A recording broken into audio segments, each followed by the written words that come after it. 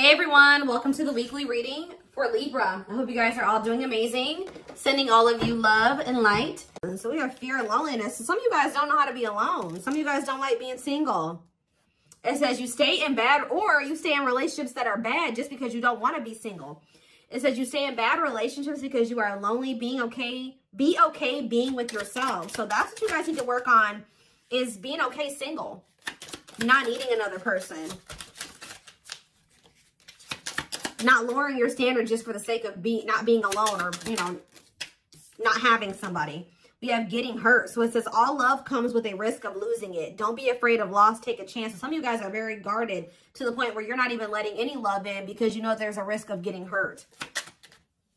So we have age issues. It says you feel too old or too young to date or you have issues with your partner's age. So for some of you, it's that like you're not open to dating. Like you're you're very specific when it comes to a certain age um, of a person that you that you like to date. Like you're you're some of you guys need to step outside of your type and it may have something to do with age. For others of you, you just feel like maybe you're just getting too old or you're you're too young or you're too young to settle down or you're you're too old to find a person by now and things like that. That's a limiting belief. We have insecurities. So it says work on building your confidence and feeling safe in your relationship. So some of you guys, when you're in relationships, you let your insecurities get the best of you. You run, you self-sabotage, you maybe always think the worst of whoever you're dating. That that usually stems from an unhealed wound from like just say for example you were cheated on in the past. You never fully healed from when that person cheated on you. So now when you're dating people in the present you have a tendency to always think that person or have that suspicion that that person is cheating on you or they will cheat on you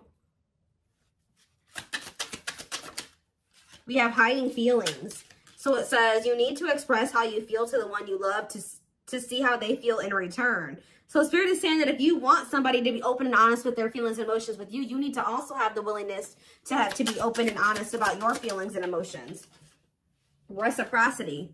We have body shame. So it says you feel unattractive to others. Work on accepting yourself flaws and also some of you guys need to work on your confidence, your self-love. For some of you, if you really are unhappy with the way that you, you know, your body, like just say it's your weight, like spirit's asking what are you doing about those things that you're insecure about or that you don't like about yourself or things like that now we should love ourselves right we should love ourselves the way that we are but if it's things like you know um like for me I'll be honest, I'll be vulnerable. I don't like my post baby body. I've had three babies. I don't like my body after having three kids. Um, what am I currently doing about it? I am obviously focusing on loving myself as I am, but I want to change my body. So I've been trying to get into a workout routine. I've been watching what I eat, things like that. So we have self-righteous. It says, you are judging others for not being spiritual. Everyone is on their own path. Be compassionate. So some of you guys are uh, have a tendency to, how do I put that? Look down on people who haven't quite had their awakening or have different viewpoints or um, don't, yeah, don't have the same beliefs as you do. That haven't ascended. Um, you know, you don't have to let those people near you. But just always remember that you are probably in their spot or their position at some point as well. Um, you may just be the catalyst for them to awaken. Uh, but we have settling. So it says, don't stay with someone who isn't right for you just because it's safe. That goes back to the very first card. So some of you guys have just been settling for less than you deserve because it's just easier, it's safer, you know what to expect. Um, that's never going to yield that, yield what you truly desire. We have slow to act. It says you wait too long to make a move, so you lose out. Don't overthink every little thing, just act. So some of you guys are overthinking things. That that can overthinking can be self-sabotage. Like and the longer you overthink it, the more chance that you will miss out on an opportunity that could be pretty amazing. Um, we have too much. It says you tell others too much about yourself all at once. Sit back and listen more. So some of you guys also need to use better discernment about who you are sharing, you know, your personal details with, who you're opening up to, who you're being vulnerable with. We have procrastinating here too. So there is some type of issue about you guys putting off important things or making important decisions and things like that. It says, don't make someone wait around too long. They may give up on you.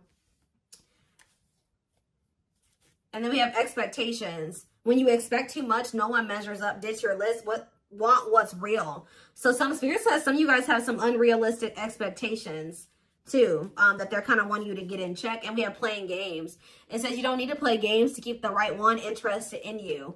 So yeah, we have lust, not love. Passion isn't the same as lasting love. Don't get sucked in just by good sex. Some of you guys are sleeping with people too soon. I was kind of getting that with the too much.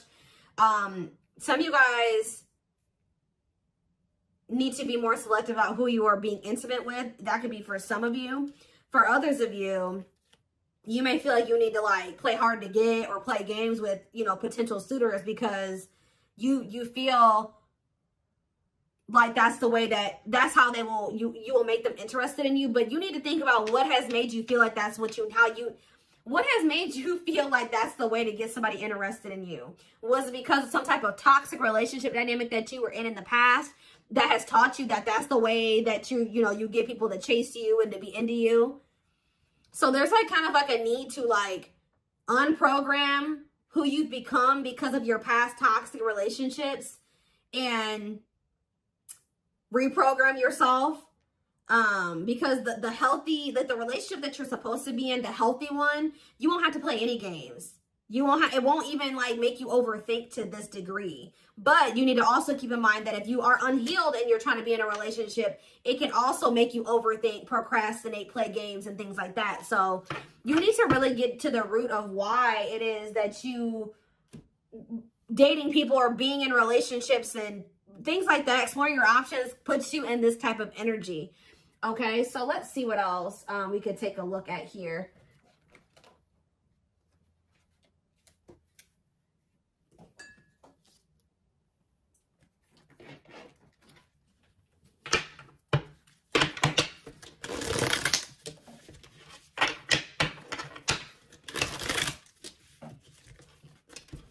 For some of you, remember that all of these energies may not be you, but this reading I did specifically do, um, you know, about what you need to work on and what you need to change. But um, this could be the issues um, within a situation that you're in with a person. So it could it could be interchangeable. We have embrace not knowing. So Spirit is saying that some of you guys are just wanting to know how things are going to turn out, who you're going to end up with, how everything's going to play out. But Spirit is wanting you to work on embracing not knowing those things.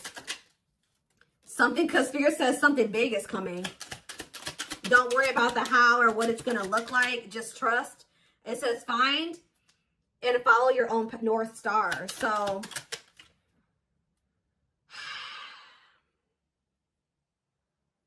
there's a need for you guys to like really think about what it is that you want and what resonates with you not what resonates with everybody else or what everybody else thinks you should be doing or whatever, you know, they want you to figure out what is your path and they're wanting you to focus on that. Your path is not going to look like everybody else's path. It says you can't lose what's meant for you. Exactly. So if there's a person that you you feel like is your person or that you're missing or that you wish that things could work out with them, but maybe you don't know what the future holds for that connection, right? Spirit says something big is coming, but Spirit wants to assure you that what's meant for you, you can never lose. So if this is your person, you guys will end up together, even if it isn't right now. So they're wanting you to like just trust that and not worry so much about how it's going to happen or when it's going to happen or if it's going to happen. It says everything has been leading up to this moment. So something is very close to happening. It says look before you leap. So they're wanting you to not like they're wanting you to like take a leap of faith, but they're wanting you to also, I know this is going to sound weird, but it's like they're wanting you to take a leap of faith, but they're also wanting you to be like logical or they're wanting you to use your discernment. Why is that? Look before you leap. Or they're telling you that you need to start looking before you jump into situations. There needs to be, like some of you guys are, have been a little bit too carefree or a little too impulsive in certain situations. They're wanting you to really scope out the situation before you make the decision to take that leap of faith towards it. It says, in spite of everything, you'll rise again.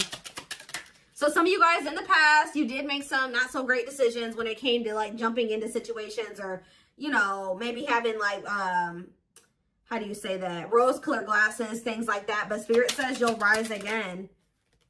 This is the sign you've been waiting for. Yeah. Let go of your past and write a new future. Yeah. Spirit says just because you made mistakes in the past and you didn't make the best choices in the past, that doesn't mean that going forward you can't do things differently. And Spirit says it is what it is. You did what you did. It happened the way that it happened. You made the mistakes that you did. You can't go back and change the past. All you can do is do better going forward. When you know better, you do better. It says make sure you play fair. And it says beware of false people.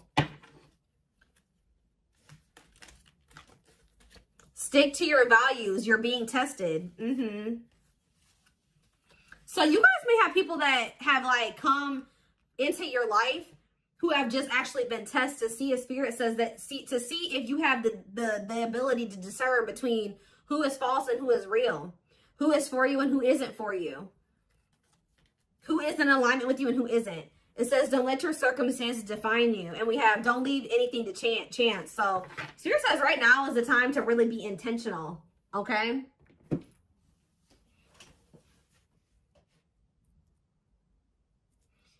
The divine, it looks like the divine is working something out for you behind the scenes, but you also have to do your part. They're showing you what you need to know about certain people and situations and it's just about your life. They're presenting the lessons to you. It's up to you to learn the lessons and apply the lessons to your life going forward. So that's how you do your part, but something is being worked out for you behind the scenes. I do want to get one more card because I do have five over here and four over here. Let's do one more over here.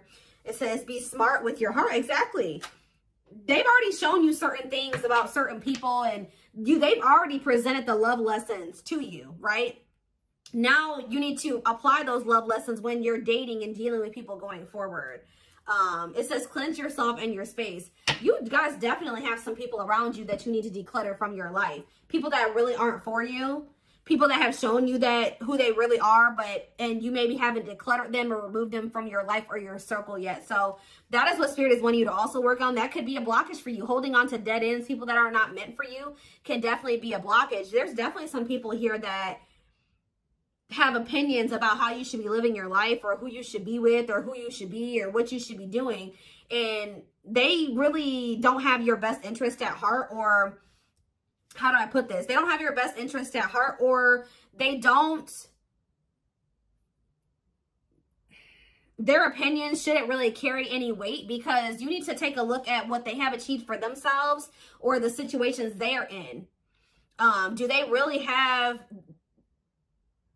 are they really somebody that you should be taking advice from? Or should their opinions be carrying any weight uh, when it comes to you, like, should, should their advice carry any weight when it comes to, you know, your situations and stuff like that. But let's see what else the divine says. So as you guys are stepping into this, this energy where you are having better discernment, you're decluttering, you are coming, you know, you're, you're becoming more self-aware. Um what is going to be manifesting as a result of that spirit?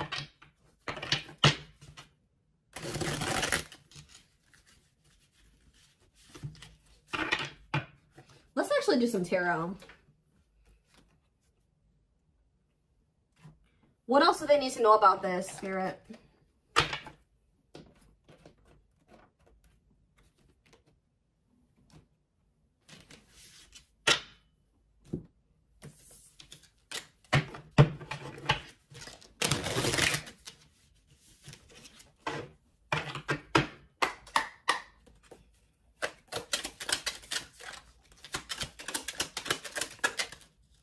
We have the Six of Cups. We have the Moon. Mm. Pisces energy, the King of Swords. Somebody, there's a truth that's going to be revealed here. Or it's, it's just, you're going to, somebody's able to see the, the past clearly here. Gemini, Libra, Aquarius, see the Ten of Pentacles. Oh, what does that have to do with my collective? The Seven of Cups it's like things aren't clear right now. It's like you're being blocked from seeing something that's coming in from for you. It's because Spirit's not really wanting you to focus on that. They're wanting you to focus on you and how you can better yourself, how you can be the best version of you. They're not wanting you to focus on what this is that's coming in for you. I do see a return of a person. Could be an air sign, a Gemini, Libra, or Aquarius person. This is somebody that you have history with. This person, I feel like you guys don't even see, you, it's like you don't even know that this person is coming back towards you, but this is somebody we're going to see here, but I feel like you're being blocked from being able to see something. Yeah, the star. Because they want you to focus on, yeah, look at this. The two of swords. It's like they want you to focus on your healing. They're not wanting you to focus on whatever this is. Yeah. The king of pentacles. Spirit's saying that you can't have this relationship or this person that you want unless you heal. So, yeah, the Nine of Pentacles. Yeah, you got to be, again, Nine of Pentacles energy is that that energy of like you being self-sufficient, not needing another person. So Spirit says once you get into that energy, that is when something is coming in here, but you guys maybe don't. Yeah, it's coming in slowly. It's already making its way to you, but for some of you, you have something, there's like a financial goal or something that they're wanting you to work on completing or yeah, the chariot. And we have the page of wands. Somebody's coming toward you. Yeah, somebody's like strategizing, planning. You will hear from this person.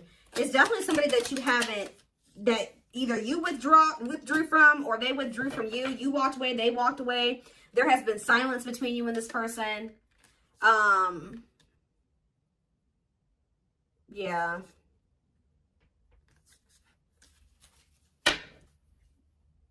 There was a need for you to to work on yourself and maybe for them to work on themselves too. Um what do they need to know about this king of swords and this ten of pentacles?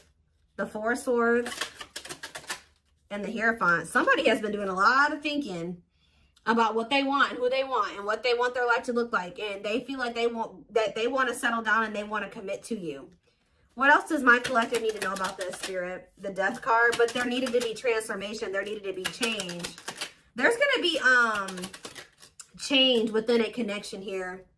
Yeah, the death card. Or maybe for some of you, somebody needed to leave. It's always this.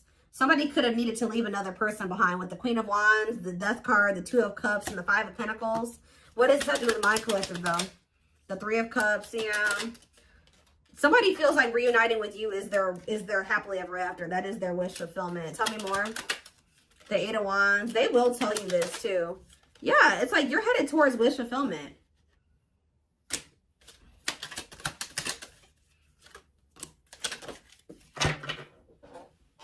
Something is changing. They know that you've been through a lot with this person. Or you just been through a lot in like all of your relationships. Like you guys have maybe had a string of bad relationships but it's like, and they know that you, you're tired. Like you've been through a lot, but spirit says that that will be changing. Things are changing within a relationship or just in your love life in general. But you know why things are changing is because you're changing. You are the creator of your reality. So now that you're in this energy where you are becoming more self-aware and you're you're changing things about yourself, you're working on yourself, you're bettering yourself, you're leveling up, you're also going to see your relationships, your circumstances change, level up, grow, change, like change for the better. And that's what's happening here. So it's almost like I feel like you guys don't really see it. Um, maybe you guys feel like you don't really, maybe you already have been working on these things, right? You already have been working on yourself and you don't really see the results of all the work you've been putting into yourself. Um, trying to move smarter, um, and things like that. And you're like, I really don't see any positive effects of me doing these things. But Spirit is saying, we have the King of Wands, we have the Sun, Leo energy, and we have the Devil. What is this about?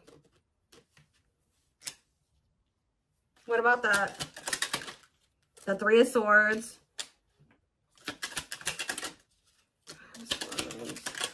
The Eight of Swords. I feel like somebody is going to come towards you yeah, there's like an energy here of somebody coming towards you. They're coming towards you with like, it looks like positive energy, but I'm going to get clarity on the devil.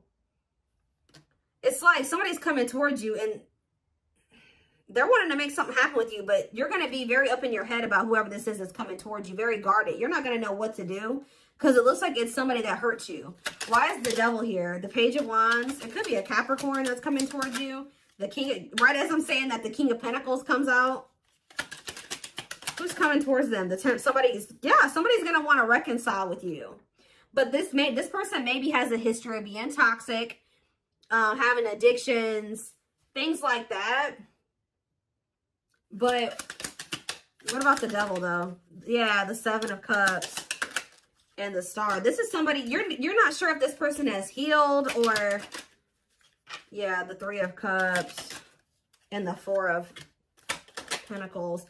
You guys are going to be thinking about who this person, who you know them to be, but just like you've been changing and transforming, they may have also been doing the same thing. Yeah, this person has a lot of regrets. If they hurt you, backstabbed you, betrayed you, they're they have a lot of regrets. They are sorry. And look at this. Yeah, they're definitely sorry. The Justice card, the Knight of Swords, the Ten of Swords, and the Five of Cups. Somebody's coming in to make something right with you. Yeah, somebody's coming in to make something right with you. Reconcile, and how's that going to go? I don't know. The Five of Pentacles and the Nine of Wands. I don't know. And the Eight of Wands, and we have the... Eh, I see somebody reaching out to you guys, but you guys may choose to reject this person or ignore them. Yeah. But we have the Ace of Swords and we have the Chariot. There's going to be a breakthrough in this connection, though. Uh, the nine of, some of you guys are going to choose to move forward, just be single and focus on yourself. Yeah, I do see that. What about the nine of swords, though? The high priestess. This person caused you a lot of stress. The two of wands. Spirit says that when it comes to choosing whether or not you want to go down this path with this person, listen to your intuition. The emperor and the three of wands.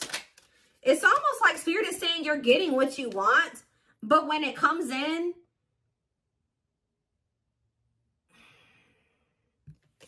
it's like because we have the empress here too like for some of you this is your twin or this is your divine counterpart or something like that and it's like you're gonna get what you want but when it comes in you may not even trust it you may think that it's an illusion or it's like you the so what do they need to know about this spirit how will they know if they can trust this the knight of cups the six of wands and the Ten of Swords. What about Ten of Swords? The Four of Wands. What's it do with you? The Two of Pentacles. Yeah, you weighing your options, not knowing what you should do. Ten of Wands. The Ace of Cups. Ah. Strength to what? I don't know. Some of you guys feel like you finally have the strength to let this person go. And you're like, why would I let this person come back that it took me forever in a lifetime to let go of. But there's something here about you and this person. You and this person may be meant to be together. This is something that you waited for. The Empress and the Emperor is here.